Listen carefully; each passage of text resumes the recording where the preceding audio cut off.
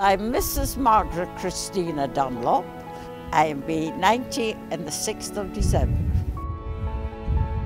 Remembrance, as far as I'm concerned, is the most important thing.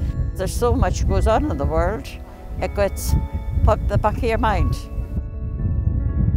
This is a wonderful place for the memories, for to see all those who fought for us. Well, we hope to God that it doesn't happen again. We've had enough.